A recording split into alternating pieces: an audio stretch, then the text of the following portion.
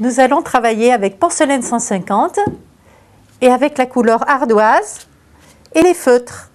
Avec porcelaine 150, vous pouvez travailler sur tout support émaillé, tel que par exemple ici c'est de la faïence jusqu'à la porcelaine. J'ai choisi de vous faire voir la technique de l'ardoise et avec les feutres, le rouge pointe large et le vert pointe fine.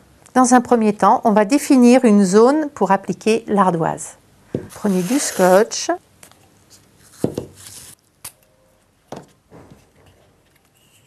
Ensuite, je prends un adhésif plus fin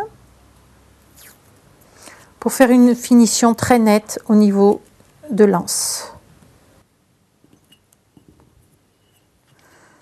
Voilà. Il est très important de mélanger le produit avant de l'utiliser, sinon votre couleur risque brillante. Donc vraiment, il faut bien mélanger avant utilisation, sans jamais secouer. Hein.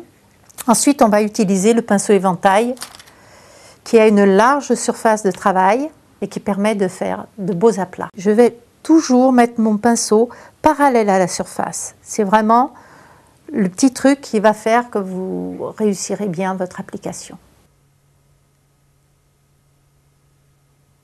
Ne jamais rajouter d'eau dans les couleurs hein. et euh, travailler toujours avec un pinceau sec. Les couleurs vont se tendre au séchage. Hein. Et là, avant que la couleur ne sèche, je vais retirer délicatement les adhésifs. Vous voyez qu'ici, ça a passé sous l'adhésif. C'est pas un souci, je prends un coton-tige comme la couleur n'est pas sèche, je vais retirer très facilement ce genre de choses. Je vais laisser sécher un quart d'heure et ensuite je vais venir travailler avec le feutre. Donc à présent, ma couleur ardoise est sèche. Vous voyez qu'elle est très mate. Ça fait un fort contraste avec l'émail donc du mug. À présent, je vais travailler avec le feutre pointe large. Comme le feutre est neuf, vous voyez que la mèche est blanche, donc je vais amorcer ma pointe jusqu'à ce que j'obtienne la couleur, voilà, le rouge.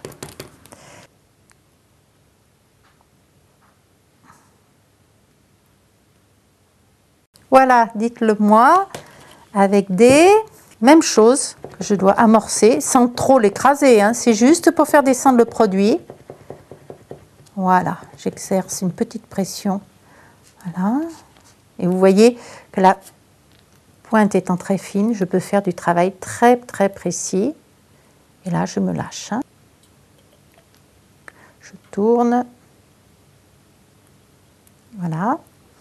Ici, je vais faire les petites fleurs avec l'autre pointe. Du petit point ou du tracé. Voilà.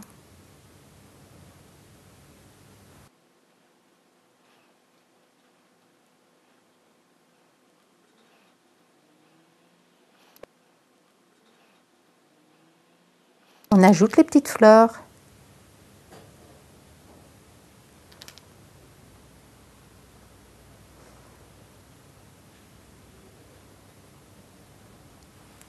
Et le tour joué. Il vous suffit de laisser sécher 24 heures et ensuite vous allez le cuire dans votre four ménager, four électrique, à gaz, à votre convenance. Le tout est d'avoir la bonne température de 150 degrés durant 35 minutes. À présent, vous pouvez utiliser votre mug, il passe même au micro-ondes sans aucun souci.